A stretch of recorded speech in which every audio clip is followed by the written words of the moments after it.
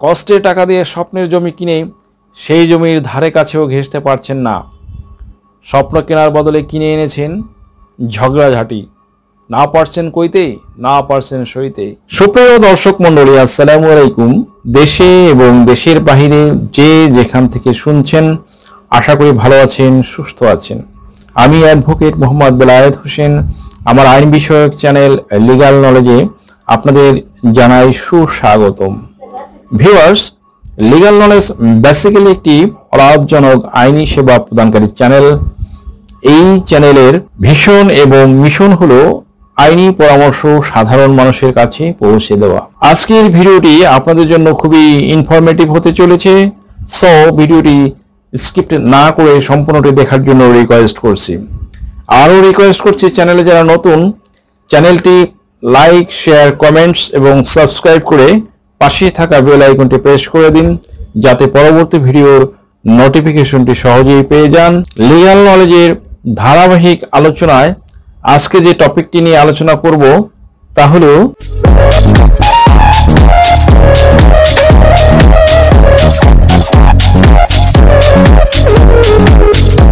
কোন ধরনের জমির মালিকানা কখনোই স্বীকৃতি দেওয়া হবে না। কোন কোন জমির মালিকানা স্বীকৃতি দেওয়া হবে না, সেই বিষয়ে ইতিপূর্বে মাননীয় ভূমিমন্ত্রী মহোদয় একটি গ্রেট ইন্টারভিউ দিয়েছেন।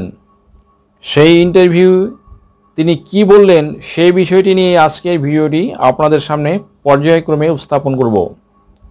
আজকের ভিডিওটি কিন্তু খুবই ইনফরমেটিভ হতে চলেছে, কাজেই ধৈর্য সহকারে ভিডিওটি দেখতে থাকুন।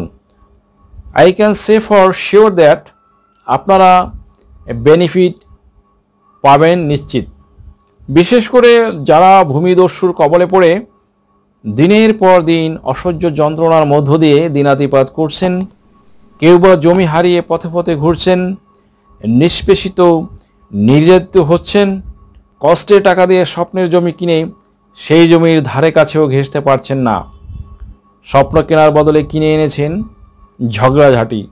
না পারছেন কইতে না পারছেন সইতে সেই সকল বন্ধুদের জন্য আজকের ভিডিওটি একটি স্বস্তির বার্তা বহন করবে বলে আমার দৃঢ় বিশ্বাস। ভিউয়ার্স, ভিডিওটি দেখলে ভূমিমন্ত্রী মহোদয় যে বিষয়টি এক্সপ্লেইন করতে চেয়েছেন, তা সঠিকভাবে বুঝতে পারবেন। আমরা জানি যে স্মরণকালের সেরা এবং যুগান্তকারী ভূমি অপরাধ প্রতিরোধ ও প্রতিকার আইন দ্যাট মিন্স যে আইনটি বর্তমানে খসড়া প্রস্তুত হচ্ছে তা মন্ত্রিসভায় সাবমিট করা হবে বলে এখানে পাশ হলে সেটি সংসদে উত্থাপন করা হবে এবং মন্ত্রী মহোদয় চেষ্টা করছেন যাতে দ্রুত আইনটি বাস্তবায়িত হয়। আর আইনটি পাশ হলে যে সকল সদ্যবেশী জমির মালিকদের জমি জমার মালিকানার স্বীকৃতি পাবেন না, সেই বিষয়টি তিনি তুলে ধরেছেন। তিনি উক্ত সাক্ষাৎকারে এই বিষয়টিকে বিশদভাবে এক্সপ্লেইন করেছেন। আজ জনতার স্বার্থে বিষয়টি তুলে ধরছি। যথাযথ দলিল ছাড়া জমির মালিকানা এই যুগে পাওয়া অবিচার কখনোই দেওয়া হবে না। সেই সকল ব্যক্তিদের যারা বেআইনিভাবে যথাযথ দলিলাদি ছাড়া অন্যের জমি দখল করে আছে। কারা সেই দখলবাজ ব্যক্তি, সেটা এখানে তিনি সুন্দরভাবে তুলে ধরেছেন। বেআইনি জমি দখল আইন আসছে খুব শীঘ্রই।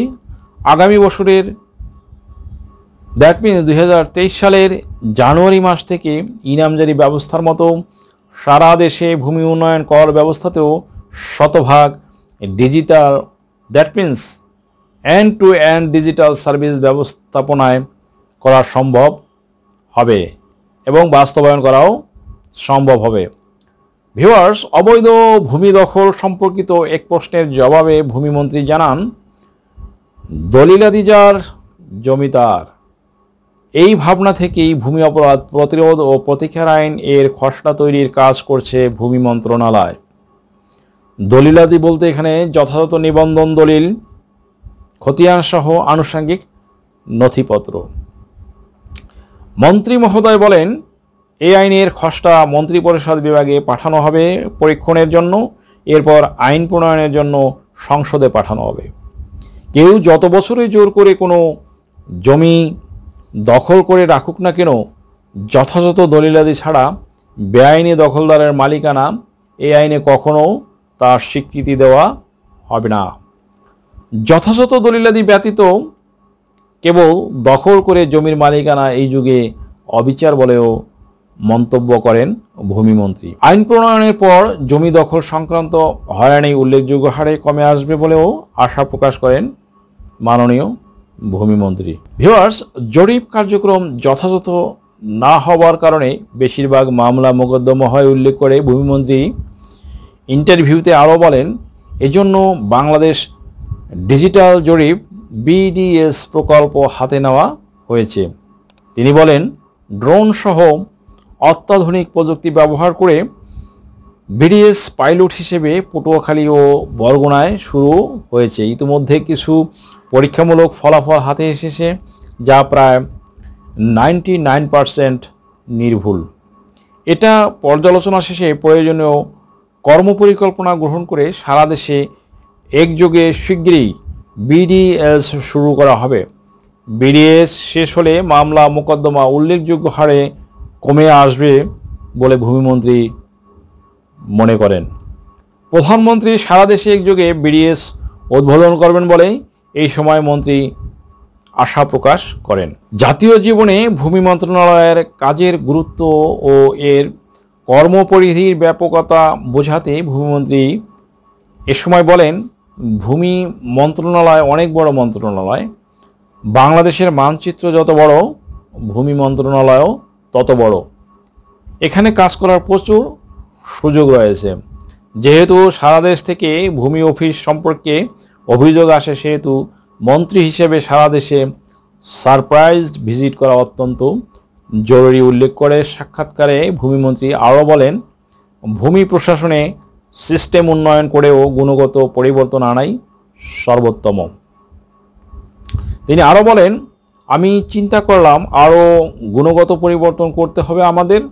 এখানে সিস্টেম ডেভেলপমেন্ট করতে হবে। সিস্টেমকে যদি আমরা ডেভেলপ করে নিতে পারি, আমার কারও সাথে কথাও বলা প্রয়োজন নেই। সিস্টেম সব কিছু নিয়ন্ত্রণ করবে এবং সিস্টেমের মাধ্যমে মানুষ সেবা পেতে থাকবে, মন্ত্রী এ কথা বলেন।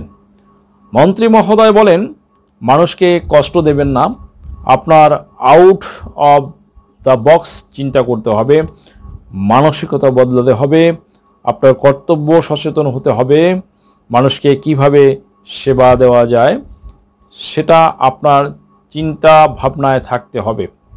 সরকারি ভূমি সেবা প্রদানকারী গণ কর্মচারীদের কাছে ভূমিমন্ত্রীর এটাই প্রত্যাশা। মন্ত্রী আরও বলেন, যে কোনো সিদ্ধান্তে তিনি গঠনমূলক বিতর্ককে উৎসাহ দেন। ভিডিওটি থেকে আশা করি সামান্যতম হলেও উপকৃত হয়েছেন। যদি ভিডিওটি ভালো লাগে, তাহলে লাইক, শেয়ার, কমেন্টস এবং সাবস্ক্রাইব করে পাশে থাকা বেল আইকনটি প্রেস করে দিন, যাতে পরবর্তী ভিডিওর নোটিফিকেশনটি সহজেই পেয়ে যান। সো আজকের মতো এখানেই শেষ করছি।